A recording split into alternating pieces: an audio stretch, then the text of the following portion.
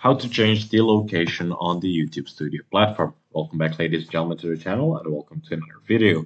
In today's video we're taking a look at the YouTube Studio platform. Today specifically I'll be showing you guys how can you change the location or the residing country of your channel. So let's get right into it.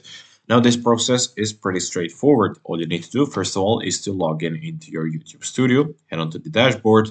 On the left hand side, bottom left uh, corner, let's say, it will be there will be a settings button. Once you click on settings, it will open up a window. Make sure that you're set onto the channel section and not on the general.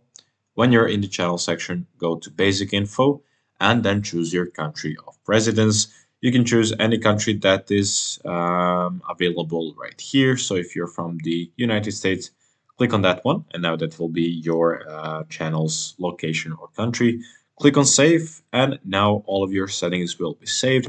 Your country, your channel has successfully changed its location.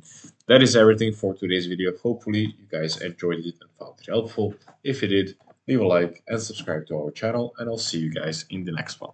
Goodbye.